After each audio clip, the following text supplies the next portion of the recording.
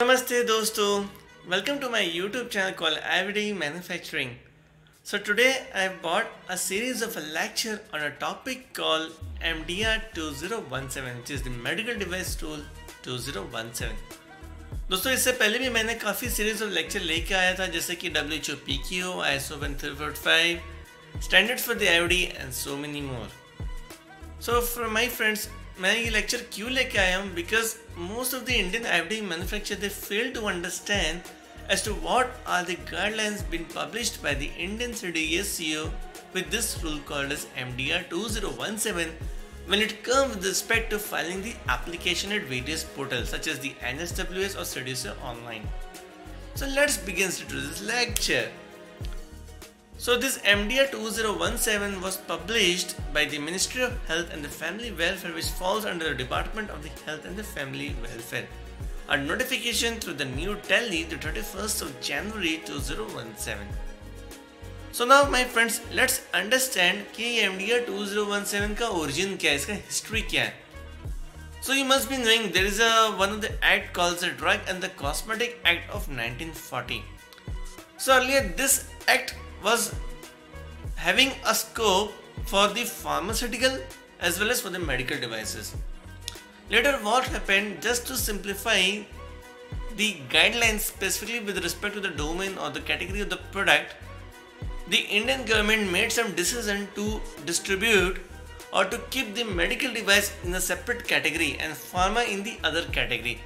Though this medical device rule have a reference coming from the drugs and the cosmetic act because this was the father the drug and cosmetic act on top of it. Then the MDR was originated. So the draft of the medical device rule which is 2016 was published as required under subsection 1 of section 12 and subsection 1 of section 33 of the drug and the cosmetic act. So my friend if somebody is going to ask you like from where this MDR 2017 was originated so it was originated mainly based on the requirement of the two section right? One was section 12 and the other was section 33 so please remember my friends keep in your mind this two section 12 and 33 respectively. In the Gazette of India Whereas Part 2, Section 3, Subsection 1, Vide Notification Number GSR 983E dated 17 October 2016 by the central government in consultation with the Drug and Technical Advisory Board were inviting the objection and suggestion from all the person likely to be affected. So this person could be either the manufacturer, the distributor, the dealer and so many more, right? and they were being invited to give the suggestion before the expiry of a period of 30 days from the date on which the copy of the said gazette containing the notification were made available to the public. I hope now this is my clear my friends.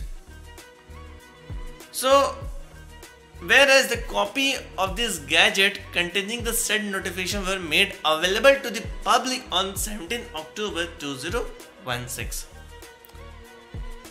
whereas all objection and suggestion received in response to the said draft notification have been duly considered by the central government. So this was a major concern like the government of India they have peacefully accepted the suggestion given by the affected stakeholders. So they didn't deny their any of the proposal which means they wanted to keep the balance from both end from the government and as well as from the manufacturer end.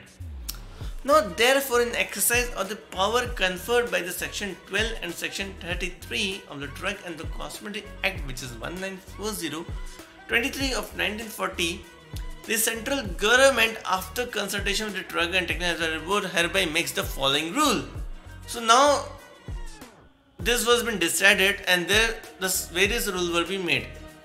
So the rules will be discussing in the next lecture so I hope you must have enjoyed today's lecture which was the introductory part of the Indian MDR 2017.